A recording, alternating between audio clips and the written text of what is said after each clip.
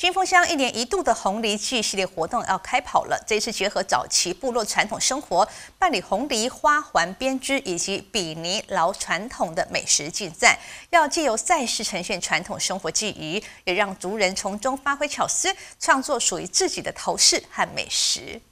红梨是金木乡重要的农特产品，现在也正值红梨采收时节，因此金木乡将在四月份办理一年一度的红梨季系列活动。今年则特别结合部落早期传统生活关系，举办红梨花环编织与比尼烙传统美食竞赛，也希望借此让族人了解自身排湾族文化，也能从中发挥创意，制作属于自己的头饰与美食。我们所推动这个竞赛是跟这这个我们的红梨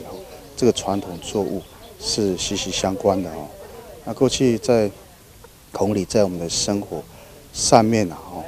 它是一个非常重要的角色。哦，它本身啊，哈，它是可以用来制作这个酒曲，啊，酒曲哈，用来做小米酒或者红米酒发酵用的这个这个药引啊，哦，之外，那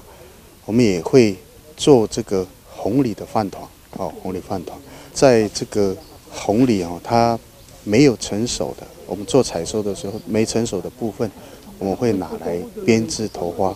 这次红梨花环编织只有十五组名额，而比尼烙传统美食则分为传统组与创新组，分别十对一对两人。从即日起就可以开始报名。节目相工作，欢迎有兴趣的族人朋友踊跃报名参加。记者张杰，金凤香报道。